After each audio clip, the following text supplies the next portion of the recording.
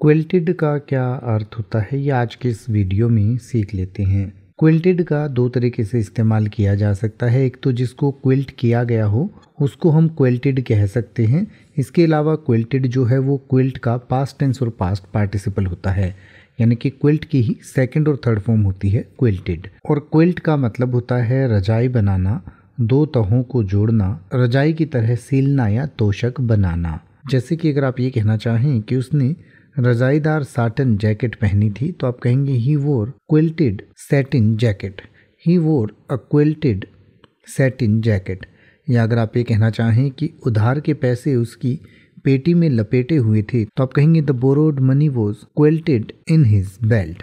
The borrowed money was quilted in his belt. या अगर आप ये कहना चाहें कि उसकी माँ ने उसके लिए एक सूती गद्देदार अनारक बनाया तो आप कहेंगे, his mother quilted a cotton padded anorak for him अब आप ऐसे ही किसी भी वर्ड का मतलब हिंदी और इंग्लिश में यूट्यूब पर सर्च कर सकते हैं। आपको मेरी वीडियो मिल जाएगी, जिसमें आप बिना किसी फालतू बकवास के सीधा उस वर्ड का मतलब समझ पाएँगे। तो ऐसी ही वीडियोस को देखते रहने के लिए चैनल को सब्सक्राइब करें और बेल आइकन को प्रेस करें।